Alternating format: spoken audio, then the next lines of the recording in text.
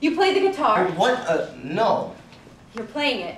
Uh, I play a little, just for myself. Can you play Sympathy for the Devil? No. How about Helter Skelter? Uh, no. My name is Liz Benke, and my character is Lynette Fromme, known as Squeaky Well, Fromme. what can you play? I write my own song. Yeah, let me hear one. I told you. I just What patriotism means to my character? myself. Would you leave me Um. I don't think she has a lot of patriotism. She is a Charles Manson cult follower, and she's very uh, into saving the environment. So you could say her patriotism is to save the environment or to get Charles Manson out of jail, but she's not really, her reason for trying to assassinate Ford isn't really uh, patriotic per se.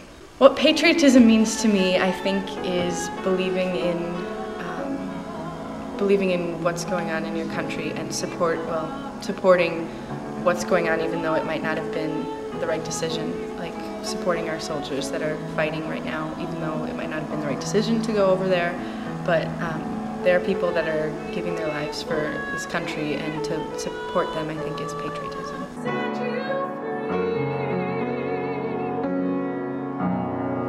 I think people should come to this show because it has a different way of showing these people that have these problems and why they did what they did. Not that these people are just completely nuts and they just go to shoot a president for no reason, that they have reasons in their own self why they did it instead of just like, oh yeah, that nutter person that tried to assassinate the president.